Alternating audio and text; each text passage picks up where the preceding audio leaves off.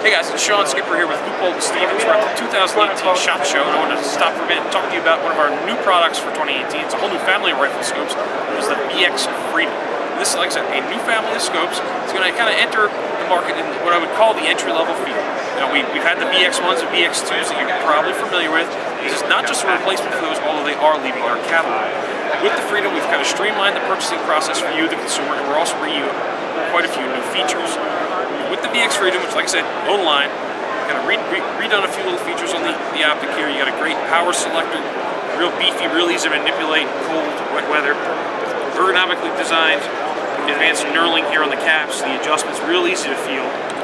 The whole package, the whole scope line features a twilight light management system, which is really excels on low light conditions, accentuates the reds and the blues, which are key for hunters, especially in the first 20 minutes and last 20 minutes of a hunt. Now there are a couple different models out of the gate here, starting with 20, early 2018. What you see here is the VX Freedom 3 to 9 by 50 millimeter objective lens.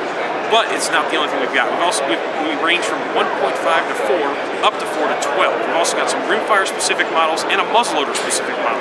So there's, there's really a freedom out there for everybody. We're very, very excited to be able to bring it to market this year. Price class wise, those rimfire models starting as low as $234.99 MSRP, all the way up to 4 to 12, which MSRP about $389.99. You're probably going to find it for less than that on the shelf. For more information, go to leupold.com.